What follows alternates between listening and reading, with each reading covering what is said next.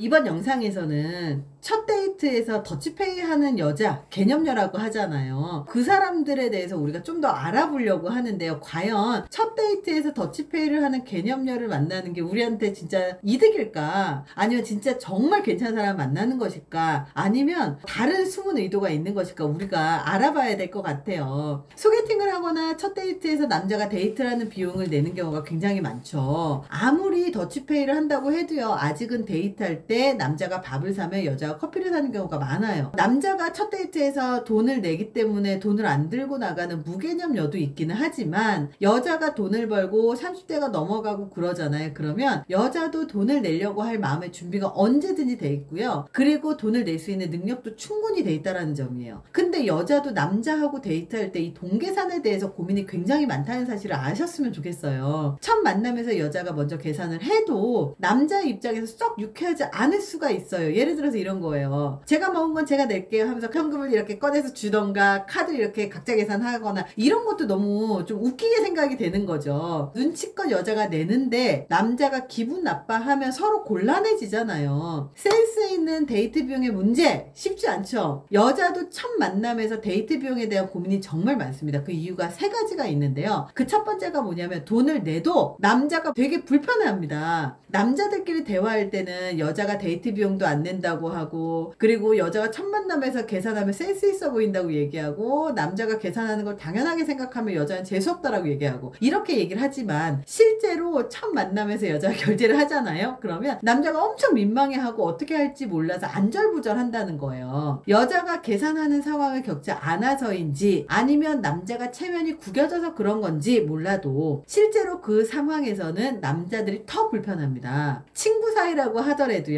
여자가 계산을 하잖아요. 그럼 내심 좋을지 몰라도 그 자리에서만큼은 불편한 티를 내는 게 또 남자 아니겠습니까? 자, 두 번째가요. 첫 만남에서 돈 계산을 하잖아요. 그럼 너무 독립적으로 보이고 너무 드세 보일 수 있기 때문에 남자나 여자나 이중적인 모습을 보이는 경우가 굉장히 많아요. 여자가 돈을 내는 것을 바라면서도 실제로 여자가 돈을 내면 드센 여자라고 생각을 하는 경우가 많다는 거예요. 첫 만남에서부터 칼같이 더치페이를 주장하거나 자신이 계산 을 해버리면 지나치게 독립적이고 강하고 드세 보이는 이미지를 남길 수 있다는 거예요. 이렇게 강해 보이는 여자에게 다가가는 남자가 많지 않다는 사실을 여자도 스스로 알고 있습니다. 상대에게 보여지는 자신의 모습을 관리해야 되기 때문이죠. 연구에서도 여자가 첫 만남에서 식사 비용을 낸다고 했을 때 남녀 평등에 대해서 혼란스러워 한다는 결과가 있습니다. 예를 들어서 이런 거예요. 다른 부분에서는 남녀 평등을 굉장히 주장하죠. 여자도 남자 도. 하지만 연애에서 남녀 평등의 개념을 주장을 하잖아요. 그러면 굉장히 남자도 그렇고 여자도 그렇고 불편하게 인지를 한다는 거예요. 그 얘기는 뭐냐면 남자 여자 모두 남녀 평등의 개념을 연애의 개념에서는 다르게 인지하고 있다라고 추측을 합니다. 여자도 돈을 내는 것이 어려운 것은 아니지만 실제로 더치페이를 하지 못하는 이유가 이런 것들이 있습니다. 세 번째는요. 남자들은 자기 마음만큼 지갑이 열린다는 소문이 있죠. 남자들의 이중성 중에 또 하나가 뭐냐면 평상시에는 남녀 평등을 외쳐요. 개념녀를 좋아한다고 말을 하지만 실제로 남자가 더치페이를 요구하는 경우는요. 여자가 진짜 마음에 안 드는 경우예요. 그리고 또 남자가 더치페이를 요구하잖아요. 그럼 여자는 어떻게 생각하느냐? 아, 남자가 나한테 호감이 없구나. 이렇게 생각을 해버리는 거예요. 남자들은 정말 여성이 마음에 들잖아요. 그러면 그냥 그 여자가 계산을 하게 두지 않습니다. 일반적으로 남자는 여성이 마음에 들면 계산을 하게 두지 않는다는 그런 편견이 있기 때문에 별말 없이 남자가 계산을 하면 여자가 아주 싫지 않거나 마음에 안 들어도 매너가 있다고 남녀 모두 생각하기 때문이에요. 실제로 여자가 정말 마음에 들잖아요. 그러면 처음부터 끝까지 남자가 여자를 절대 계산하게 놔두질 않는 남자들이 진짜 많아요. 그렇다면 여자들이 첫 만남에서 굳이 돈을 내는 이유가 뭘까? 첫 번째, 남자가 정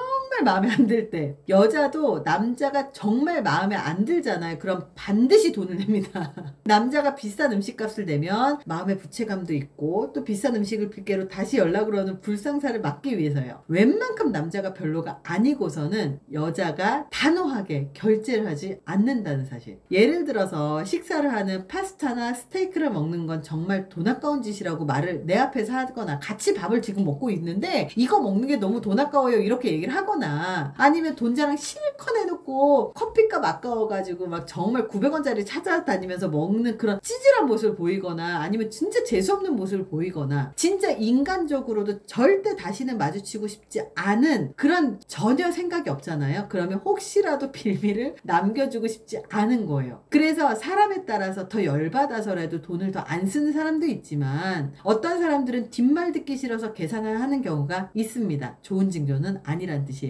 자, 두 번째입니다. 관계를 대등하게 하고 싶거나 본인이 우위에 서고 싶을 때 돈을 쓴다라는 거죠. 돈을 쓴다는 것은 자본주의 사회에서 관계에서 우위를 설 수 있다는 의미이기도 해요. 친구 사이라고 할지라도요, 돈을 더 잘 벌잖아요. 그러면 더 많이 쓰는 사람이 좀 더 상대적인 우위에 있죠. 심리적으로도 그렇고. 그래서 그런 맥락에서 여자가 돈을 내면 상황을 주도하게 되는 경우가 생기게 되죠. 예를 들어서 연 상연하 커플이면 동갑 커플일 때보다 더 많이 여자가 내는 그런 양상이 보이고 그리고 여자의 말을 남자가 따르는 그런 모습을 많이 보이죠. 주도적인 여성의 경우는 자신이 마음에 드는 남성에게 다음에 차 마시자고 하기도 하고 식사를 하자고 하는 경우들이 있어요. 하지만 이런 주도적인 여성은요 남녀 관계에서는 진짜 많지가 않다는 게 함정이죠. 첫 데이트에서 여자가 더치페이를 하겠다고 한다는 것은 좋은 신호가 아닐 수가 있다라는 사실을 우리는 알면 훨씬 이 관계에서 어떻게 해야 될지가 보이지 않을까 그런 생각을 합니다. 이번 영상이 도움이 되셨길 바랍니다. 감사합니다.